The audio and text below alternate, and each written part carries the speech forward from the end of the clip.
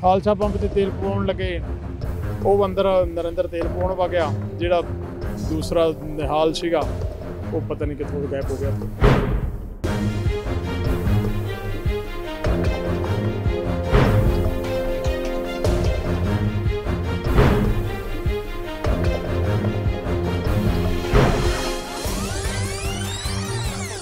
ਇਸ ਵੇਲੇ ਦੀ ਵੱਡੀ ਖਬਰ ਖੰਨਾ ਤੋਂ ਸਾਹਮਣੇ ਆ ਰਹੀ ਹੈ, ਜਿੱਥੇ ਹਿੰਦੁਸਤਾਨ ਲੀਵਰ ਦੀ ਏਜੰਸੀ 'ਚ ਇਸ ਵੇਲੇ ਸਹਿਮ ਦਾ ਮਾਹੌਲ ਹੈ। ਤੁਹਾਨੂੰ ਦੱਸ ਦਈਏ ਕਿ ਏਜੰਸੀ ਦੇ ਕਰਮਚਾਰੀ ਵੱਲੋਂ ਤਕਰੀਬਨ 40 ਲੱਖ ਰੁਪਏ ਦੀ ਚੋਰੀ ਨੂੰ ਅੰਜਾਮ ਦਿੱਤਾ ਗਿਆ, ਜਦੋਂ ਉਸ ਨੂੰ ਵੱਡੀ ਰਕਮ ਬੈਂਕ 'ਚ ਜਮ੍ਹਾਂ ਕਰਵਾਉਣ ਲਈ ਭੇਜਿਆ ਗਿਆ। ਜਿਸ ਤੋਂ ਬਾਅਦ ਇਸ ਦੀ ਹਕੀਕਤ ਬਾਰੇ ਤੁਹਾਨੂੰ ਦੱਸਦੇ ਹਾਂ ਪਰ ਇਹ ਸਾਰੀ ਘਟਨਾ ਸੀਸੀਟੀਵੀ ਕੈਮਰੇ 'ਚ ਕੈਦ ਹੋ ਗਈ ਅਤੇ ਬਾਅਦ ਵਿੱਚ ਪੁਲਿਸ ਵੱਲੋਂ ਪੂਰੀ ਮੁਸਤੈਦੀ ਨਾਲ ਸ਼ਹਿਰ ਦਾ ਚੱਪਾ ਚੱਪਾ ਖੰਗਾਲਿਆ ਜਾ ਰਿਹਾ ਹੈ। ਤੁਹਾਨੂੰ ਦੱਸ ਦਈਏ ਕਿ ਇਹ ਸਾਰੀ ਘਟਨਾ ਉਸ ਵੇਲੇ ਵਾਪਰੀ ਜਦੋਂ ਬਤਰਾ ਇੰਟਰਪ੍ਰਾਈਜ਼ ਦੇ ਦੋ ਕਰਮਚਾਰੀ ਨਿਹਾਲ ਅਤੇ ਨਰਿੰਦਰ ਵੱਲੋਂ ਇੱਕ ਮੋਟਰਸਾਈਕਲ 'ਚ ਤੇਲ ਪਵਾਉਣ ਲਈ ਪੰਪ ਤੇ ਜਾਇਆ ਗਿਆ, ਪਰ ਅਚਾਨਕ ਪਿੱਛੋਂ ਸ਼ਾਤਰ ਨਿਹਾਲ ਵੱਲੋਂ ਪੂਰੀ ਪਲਾਨਿੰਗ ਦੇ ਨਾਲ ਪੰਪ ਦੇ ਅੰਦਰ ਦਾਖਲ ਹੋਣ ਤੋਂ ਪਹਿਲਾਂ ਹੀ ਬਾਈਕ ਤੋਂ ਉਤਰ ਕੇ ਖਿਸਕਣ ਦੀ ਕੋਸ਼ਿਸ਼ ਕੀਤੀ ਗਈ, ਪਰ ਸ਼ਾਇਦ ਉਸ ਨੂੰ ਇਹ ਨਹੀਂ ਪਤਾ ਸੀ ਕਿ ਕੈਮਰੇ ਦੀ ਅੱਖ ਉਸ ਤੇ ਨਜ਼ਰ ਰੱਖ ਰਹੀ ਸੀ ਅਤੇ ਕੁਝ ਹੀ ਸਕਿੰਟਾਂ ਬਾਅਦ ਨਿਹਾਲ ਇੱਕ ਗਲੀ 'ਚ ਪੈਰ ਖਿਸਕਾਉਂਦਾ ਦਿਖਣ ਲੱਗ ਜਾਂਦਾ ਏ। ਪਰ ਰੁਕੋ, ਕੀ ਤੁਸੀਂ ਸਾਰੀ ਸੀਸੀਟੀਵੀ ਨੂੰ ਧਿਆਨ ਨਾਲ ਵੇਖ ਵੇਖਿਆ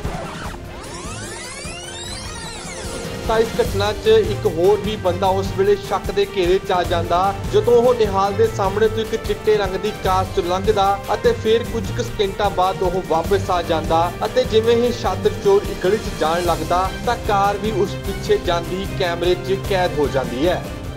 ਹਾਰ। ਉਹ ਖੜ ਗਿਆ। ਉਹ ਉਹ ਖੜ ਗਿਆ। ਗੱਡੀ ਉਹ ਆਈ ਆ ਗੱਡੀ ਉਹ ਦੇਖੋ ਚਿੱਟੀ ਗੱਡੀ ਆਈ ਹੋਈ ਹਾਂ। ਕਿਹੜੀ ਗੱਡੀ ਕਿਹੜੀ ਹੈ? ਹਾਂ ਹਾਂ। ਨੰਬਰ ਭੇਜੋ ਮੈਂ ਤੁਹਾਨੂੰ ਕਿਸ ਗੱਡੀ ਹੈ?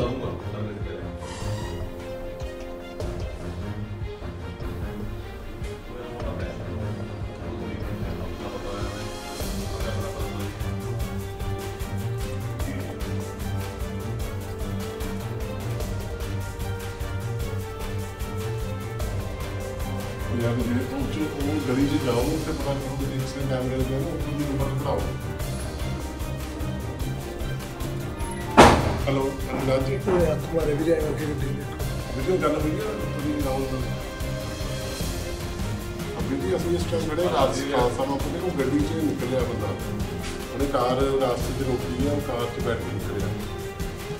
ਪਰ ਉਹ ਕਾਰ ਦਾ ਕਾਰ ਦਾ ਕਾਰ ਦਾ ਨੰਬਰ ਨਹੀਂ ਆਇਆ ਉਹ ਇੱਕ ਚ ਪਤਾ ਲੱਗ ਗਲੀ 'ਚ ਉਹਦਾ ਸਿੱਧੀ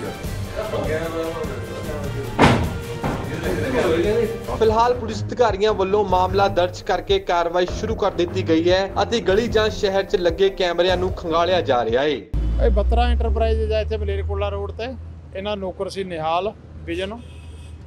ਉਹ 39 ਲੱਖ 13550 ਰੁਪਏ ਜਮ੍ਹਾਂ ਕਰਾਉਣ ਗਏ ਯੂਨੀਅਨ ਬੈਂਕ ਆਫ ਇੰਡੀਆ 'ਚ। ਨਾਲ ਉਹਦੇ, ਉਹਦਾ ਦੂਸਰਾ ਨਰਿੰਦਰ ਸੀਗਾ ਨੌਕਰ, ਉਹਦਾ ਮੋਟਰਸਾਈਕਲ ਤੇ ਲੈ ਕੇ ਗਏ ਸੀਗੇ। ਖਾਲਸਾ ਪੰਪ ਤੇ ਤੇਲ ਪਵਾਉਣ ਲੱਗੇ। ਉਹ ਅੰਦਰ ਨਰਿੰਦਰ ਤੇਲ ਪਵਾਉਣ ਵਾ ਗਿਆ, ਜਿਹੜਾ ਦੂਸਰਾ ਨਿਹਾਲ ਸੀਗਾ। ਉਹ ਪਤਾ ਨਹੀਂ ਕਿੱਥੋਂ ਗਾਇਬ ਹੋ ਗਿਆ ਉੱਥੇ। ਉਹਦਾ ਦੇਖ ਰਹੇ ਆ ਬਾਕੀ ਮੁਕੱਦਮਾ ਦਰਜ ਕਰਕੇ ਕਾਰਵਾਈ। ਇੱਕ ਜਣਾ ਫਰਾਰ ਆ, ਨਿਹਾਲ।